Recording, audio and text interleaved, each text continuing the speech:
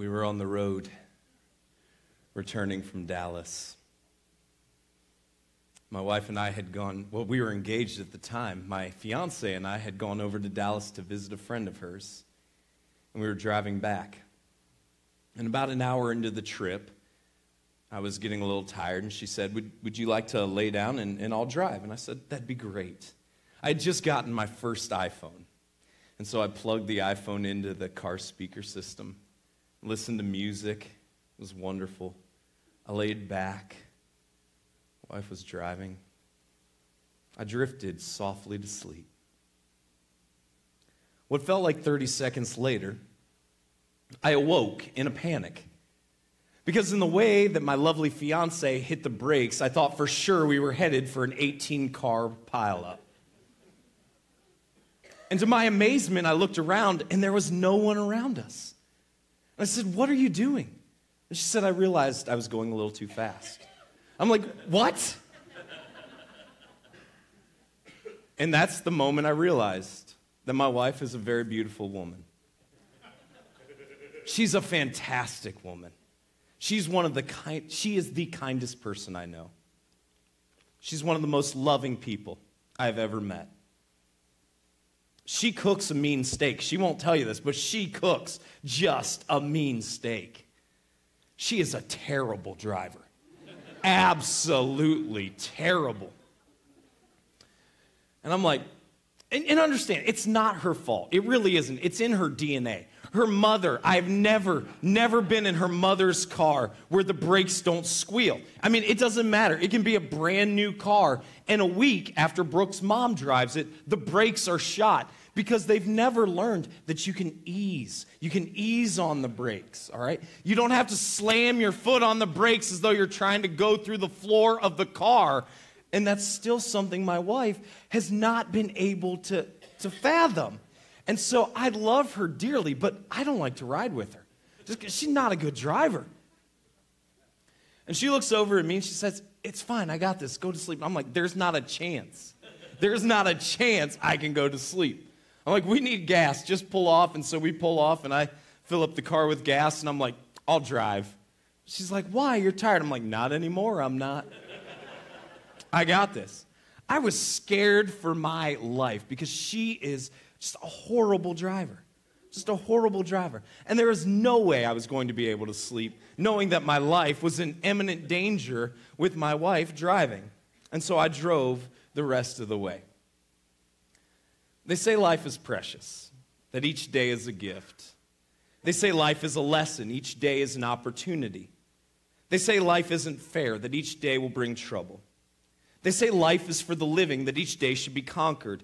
They say life is what you make it, each day for you to define. They say life is short, each day the chance to be your last. They say life is what happens while you're busy making other plans, each day a chance to change your destiny.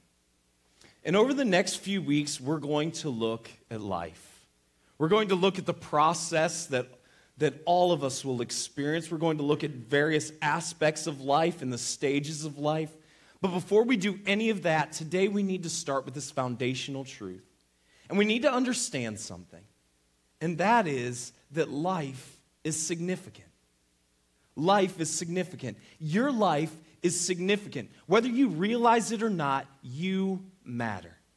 You have incredible significance. And this morning we're going to discover that. So if you have your Bible apps, you can follow along with us under the events section. Otherwise, you can follow along on the screens. My name's Brian. Thanks so much for being here. We're really excited that you're here at Lakeside Community Church. And this morning, we're going to dive into Luke 12, beginning in verse 4, with Jesus speaking when we read these words I tell you, my friends, do not fear those who kill the body. And after that, have nothing more they can do. I tell you, my friends, do not fear those who kill the body, and after that, have nothing more that they can do. The reality is this that some people never really live because they're constantly scared of dying.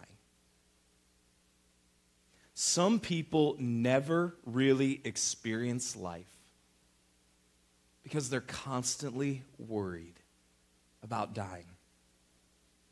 And as we begin to look at life and as we look at the significance of life, we have to look at these words of Jesus. And the, the words of Jesus say this Don't fear. Don't fear this. I tell you, my friends, do not fear those who kill the body, and after that have nothing more they can do. Live without fear. I have a friend, she's single, she lives alone. And every time she hears a creak in the house, and we've all heard creaks in the house, right? We're just convinced, all right, somebody is in here. This is where I die right here, right now.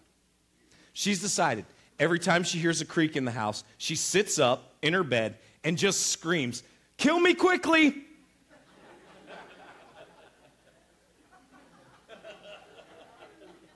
That's her approach. And then she waits and listens if there's any more footsteps or anything else. But that's just what, anytime there's a creak in the house. My wife and I just moved into, the house, into a house a, a few weeks ago. And I was over one night painting. And I had headphones in. I was listening to a podcast. Why? I'm not really sure because I was the only person in the house. But I had headphones in. I was listening to a podcast. I was doing some painting. And all of a sudden, I heard this noise. I'm like, all right, it's on. now, I've never been trained in self defense. I'm just counting on the fact that I have a blind rage, and unless it's my time, I'm not going to go. And if it's my time, well, God knew about this in advance, so all right. But I'm going to go down swinging. And I hear this noise, and it's coming from behind me. And I've watched too many movies. I've watched too much 24. I'm not a governmental agent, all right? I'm not a CIA operative. I don't know any secrets about the NSA or the FBI. I'm, I'm not a very political person. I, I really have no value, whether, whether it's like, whether it's the Chinese or the Russians or what, or the Canadians, I don't know, whoever. I have no, like, literally, no value to any foreign government whatsoever. But I'm like, oh, yeah, there's a trained operative in this house ready to kill me. I'm like, all right, I'm going to I'm to be my Jack Bauer. I'm going to go off like Kiefer. And then I'm like, I don't have a gun on me. All right, I'm going off like MacGyver, all right? Because MacGyver never had a gun. And for those of you who don't know who MacGyver is, there's some great rerun channels you can find when you use antennas. They're available on there. Watch some MacGyver reruns. Great. Now I'm like, all right, I'm going to take down a small army with just my fists, even though I've never been trained in self defense. I got this. I can disarm a small army. But I hear this noise, and it's getting louder, and it's getting louder, and it's right behind me. And so I ball my fist up and I turn around and I swing my fist and I realize it's the ice maker in our fridge. and I almost threw my shoulder out. All because I was freaking out about a refrigerator making ice. We've all been there when we hear the creak, when that initial fear sets in. And Jesus says, don't fear that. Don't fear that. But then he continues in verse 5. He says, But I will warn you whom to fear. Fear him who, after he has killed, has authority to cast into hell. Yes, I tell you, fear him. So, what we have to understand here are a couple things. Number one, we were all created to outlive our lives. We were all created to outlive our lives. Death is not our destination. All of us were created to outlive our lives. And then we encounter a much bigger problem. We encounter a question that has been asked for ages, that many who don't know God ask, that many who know God wrestle with and struggle with. And the question is this that we must confront the question is this is how can a good God how can a good God have a place like hell exist? How can a good God ha- make and, and have such a place as hell? And we really struggle with this if God is loving. Where's this divorce and his loving nature and this destination of hell? How does this work? How could this possibly be? And I want you to know if you wrestle with this, if you struggle with this, you're not alone. That's not uncommon. And God's not repelled by your struggle. God's not repelled by your question. God, God isn't scared. But we have to understand that when we look at the teachings of Jesus, hell is a place that he discussed. And here, not only is hell a place that he's discussing, but he's saying if there's anything that you should fear, it's this. And so, how do we overcome this idea that a good, loving God can exist with a place like hell? And I go back to my sophomore year in college when I took a walk with a friend of mine. And in painful detail, she recounted how just weeks before she had been victimized. And she had been raped. And how charges weren't going to be filed. There would be no justice. And here was someone I cared very deeply about, a good friend of mine, who's recounting for me the horror that she had experienced and all the things that she was struggling with emotionally physically and psychologically as a result of that, and how it was unfair. And I wanted justice. Most of us don't struggle with the concept of hell when we think about situations like that. When we think about terrorists, when we think about people who commit horrific acts that we don't want to fathom, that we don't even want to speak of. Most of us can somewhat wrap our minds around hell when we talk about that. The struggle for most of us when we think about this concept and this idea of hell is similar to this. We want justice when we're the victim. But what about justice for the people that we've victimized?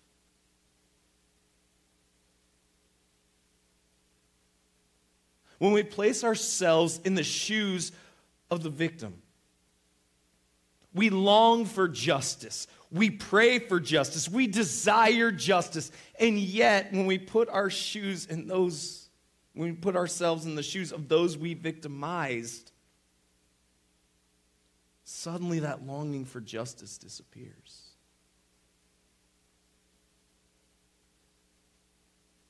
C.S. Lewis said there are two kinds of people people who say, God, your will be done,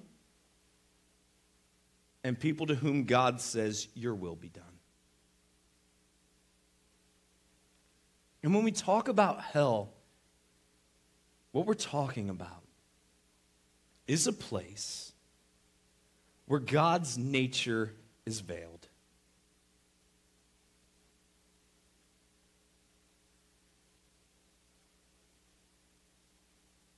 And if we look at this idea and we say, how can a loving God send people to hell? Well, we also have to understand this that each and every one of us has a choice to make.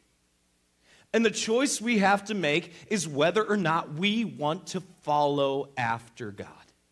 That's the choice that is available to every single one of us. And that is something that God has given all of us in free will. That God does not demand that we follow after Him. And so if we reject God and we choose not to follow after God, then hell is a place that we spend our destiny in an environment where we live out that choice. That we made the choice not to have God be a part of us. And that's the destination. And then Jesus continues. In verse 6, he says, Are not five sparrows sold for two pennies? And not one of them is forgotten before God. So he just says, don't fear somebody who can kill you. Instead, fear the one who can throw you into hell after you've been killed. And then the very next breath, he says, Aren't five sparrows sold for two pennies? What? Jesus, you're a great communicator, but what are you doing here? ADD, what's, what's going on here? Where, where, are we, where are we going? And Jesus same, seems to change topics abruptly when he talks about this five sparrows for two pennies. Now, I know you can't buy five sparrows for two pennies anymore, and, and really, why would you want to? I was traveling on S just a couple weeks ago, traveling north up to Sturgeon Bay. I am not, I'm not a car guy. There was a 2018 red Corvette in front of me. I am not a car guy. I wanted that car. Like cars, nah, whatever. That car was like, that's incredible. And so, as you would expect, they were doing about 55. And I, of course, was doing just about 55 right behind them. And we traveled. And then we got to a truck in a place that we couldn't pass. And then the truck turned off right after Jay. I think it's on double O. I'm not sure. And then the Corvette hits the gas. And believe it or not, they went a little faster than my four cylinder 2010 two door Honda Civic. And then they slam on the brakes. So I get up, and they're, not moving anywhere. And I'm like, certainly they're not going to challenge me to a race on X. but I'm like, what are they doing? And I look out, and there are two chipmunks in the road who are drunk. They are, it looks like you're playing pinball. They're just running back and forth between the lanes. And I'm thinking, you idiots! You were willing to wreck a $60,000 Corvette for two chipmunks that probably have rabies? What is wrong with you? We just sat there. And if you subscribe to PETA, go get a coffee for just a second. But I'm hitting my horn like, come on, let's go. They're just chipmunks with rabies, they're everywhere. That's what Jesus is talking about here when he says, You can get five sparrows for two pennies. They're everywhere. They're not worth that much. They're what, two pennies, that's nothing. There's an abundance of these things. And then Jesus continues. Why, even the hairs of your head are all numbered. Fear not. You are of more value than many sparrows. See, these sparrows, those chipmunks, they aren't, they aren't invisible to God. And then he says, even the hairs on your head are all numbered. Now, for some of us, that is incredible. For some of us, like Greg Tedke, yeah, that's not that hard. All right, but for some of us, for some of us, this is really incredible. That God knows the numbers of hairs on our head. This is how much value you have. This is how much worth you have before God. That the hair on your head is numbered. You may feel isolated and you may feel alone. And I want you to know something God knows how many hairs you have on your head. You may have been rejected. You may have been told all your life that you're not good enough and you won't measure up and you won't amount to much. I want you to know something. Your Creator knows how many hairs are on your head. God watches the sparrows. God watches the stupid geese that poop all over our parking lot, and we really wish would just go away. But God watches over them. He watches over the chipmunks that some insane guy driving a $60,000 Corvette was willing to wreck his car over. God knows how many hairs are on your head.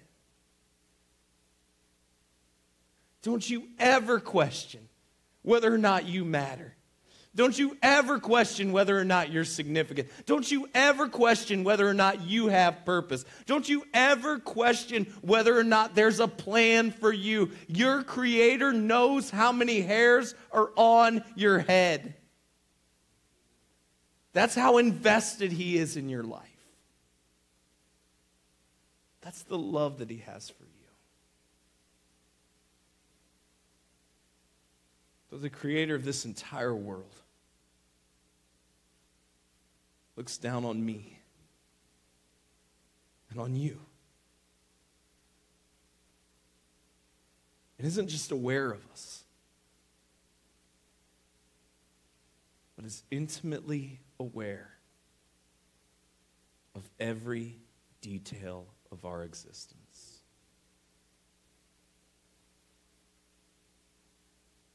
That's the God that created us. That's the significance of your life. That God is so invested in your life that He knows intimately every single detail. And what's more, not only does God know every single detail of our life, but the message of Jesus is not one of fear, but a freedom for fear. He says, Don't fear the one who can murder you. Don't fear the one who can kill you. Fear the one who, after you're murdered, can throw you into hell. But oh, by the way, you can buy five sparrows for two pennies. But God watches over them. And how much more does God care about you that the very number of your hairs are counted?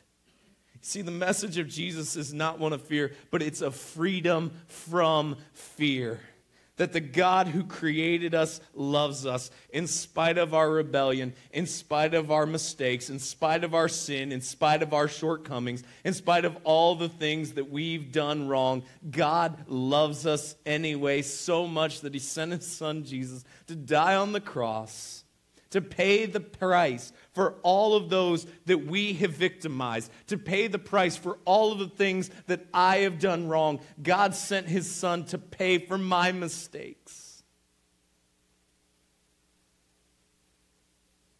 And he loves me. And he cares about me.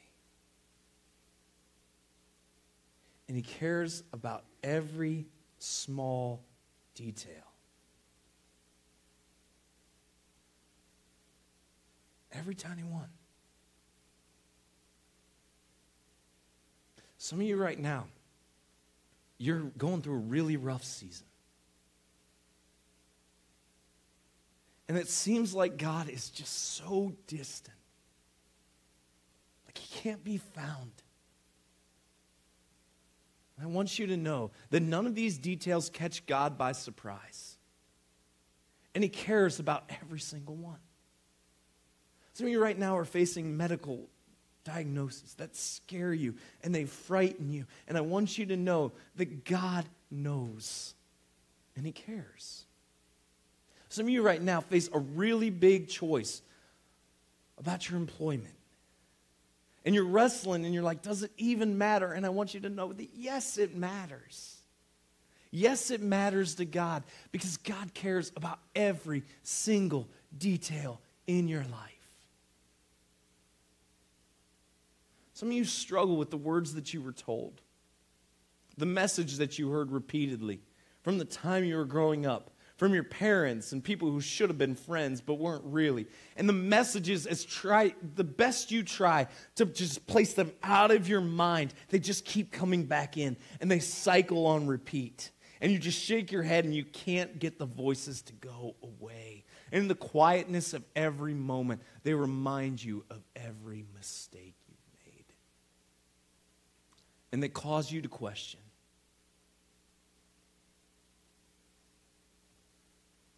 Am I enough? Will I ever be good enough? Some of you right now are living in depression because you put these dreams out for your life and you've you've been incredibly ambitious, and yet your dreams haven't come true. And truth be told, you're doing some incredible things. It just looks differently than what you thought it would. And you haven't given yourself the freedom to accept that. And you just keep beating yourself up.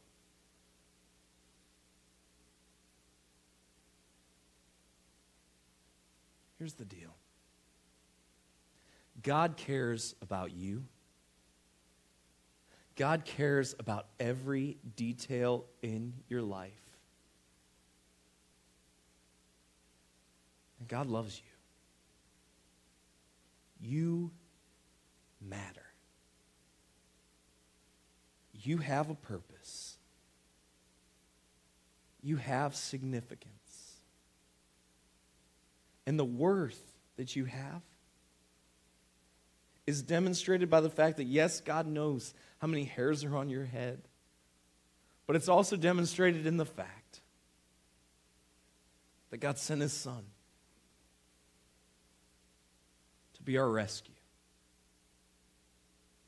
to be our redemption to deliver us from the consequences of our mistakes, of our shortcomings, of our sin, so that we could walk through life without fear.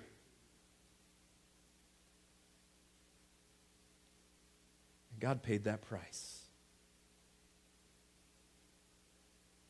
And the Bible says that if we would recognize who Jesus is and give him our lives, that he will save us that we will be free from fear. And we will escape the penalty that we all deserve. And in just a few minutes, we're going to go down to the lake.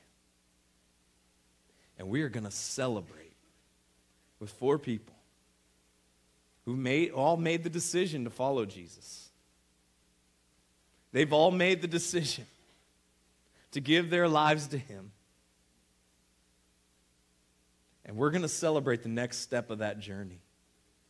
When we baptize them with the beautiful picture of what Jesus did for us, that He died on the cross, He was buried, and three days later, He rose again, and the beautiful picture of what God does in us at the moment we make the decision to follow Jesus. And that's to make us brand new. You matter. You matter to God. You are significant. God loves you. He is intimately aware of who you are. God, I pray that you'd help us understand your love for us. I pray you would help us understand just how much we matter. Thank you for being a God who's not distant. Thank you for being a God who's not far. Thank you for being a God who loves us and who is aware of every detail.